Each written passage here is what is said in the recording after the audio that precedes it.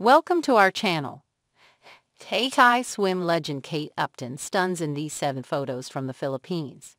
Kate Upton is a familiar face in the pages of SI Swimsuit.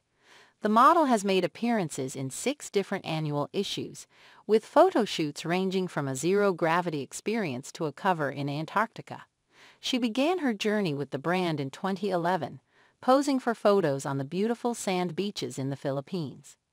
The now 31-year-old was just 19 when she first posed for the magazine in the Southeast Asian country, earning Rookie of the Year honors for the fabulous photos. Even then, it was a dream come true for the model.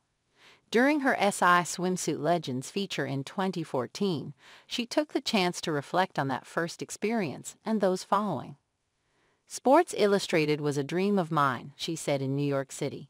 When I was able to get into the magazine, it was a really special moment. Though she had appeared in three consecutive SI swimsuit magazines by the time of the Legends, feature including covers in both 2012 and 2013, she still felt a connection to her debut, which fulfilled a dream and launched her on an incredible journey with the magazine. Following the Philippines feature and Rookie of the Year honors, the model earned two consecutive spots on the cover and a third in 2017, making her relationship to SI Swimsuit mean even more, she said. Though she expressed gratitude for everything she had been able to do with the brand, she wasn't forgetting her beginnings, and neither have we.